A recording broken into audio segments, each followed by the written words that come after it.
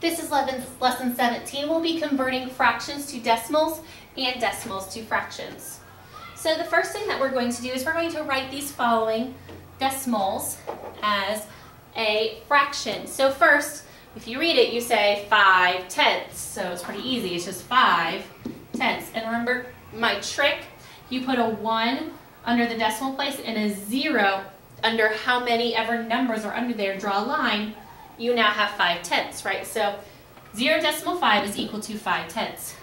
Here, remember the trick? 1, and then I've got two place values, right? So it's 4 hundredths.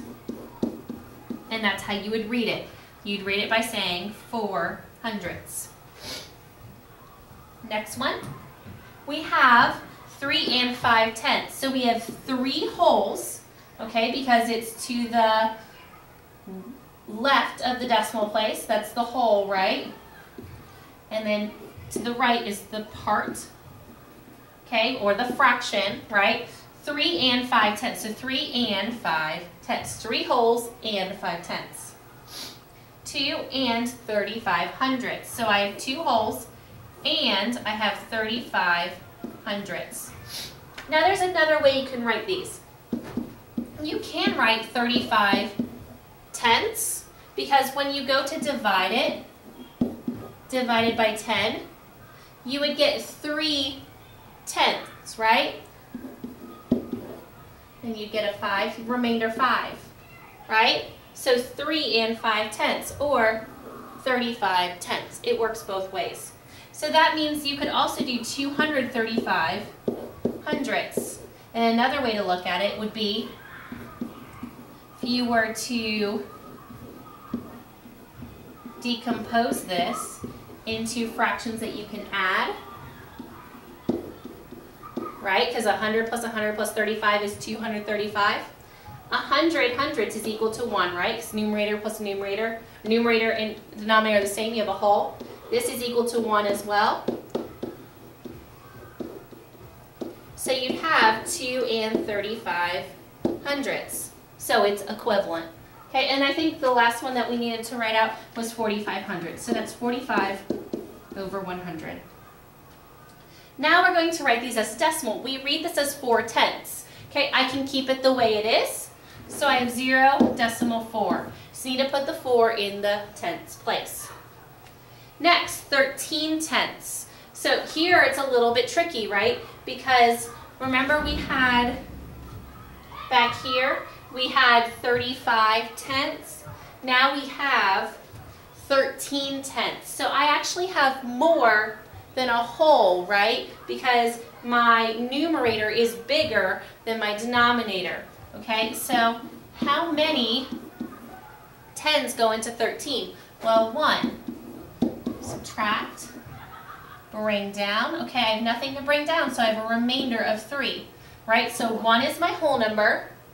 And then how many tenths do I have remaining? I have 3 tenths remaining. So 1 and 3 tenths, or 1 and 3 tenths. Okay, here I can write it the way it is, 13 hundredths. I have 0 wholes because my numerator is less than my denominator, and 13 hundredths. 4 hundredths can write it the way it is. I have 0 and I have nothing in my tens place, so I need to put a 0 there, and 4 hundredths. And again, remember the trick? 4 hundredths, right? So we know it's correct. 46 hundredths, again, I can write it just the way it is. And the 6 is in the hundredths place. Remember the trick? So 46 hundredths. 3 fifths. Now, I can't write 3 fifths the way it is as a decimal because I don't have a 10 or a 100 in the denominator, right? That's why it's called tenths or hundredths. You have to have a 10 or a 100 in the denominator. So you cannot write 3 fifths as a decimal. So you have to set up an equivalent fraction, okay? So 5 times 2 is 10. 3 times 2 is 6. Now I can write it as a decimal because it reads as a tenth, right? 6 tenths. That's equal to 6 tenths. Again, 4 25ths. I cannot write this as a decimal because there is not a 10 or a 100 in the denominator. Okay, you have to have a 10 or a 100 in order to write it as a decimal automatically. So I need to set up an equivalent fraction so I can do that. I know in my head I can go from 25 to 100 very easily. I just have to think quarters, right? 25 times 4 is 100. There are four quarters in a dollar or 100 cents, right? So I'm going to do 4 times 4 to get 16. Now I can write this as a decimal because there's a 100 in the denominator or 16 hundredths. Okay, again, 4 20ths. This is not the number 10 and this is not the number 100. So I cannot write it the way it is as a decimal. So I have to set up an equivalent fraction.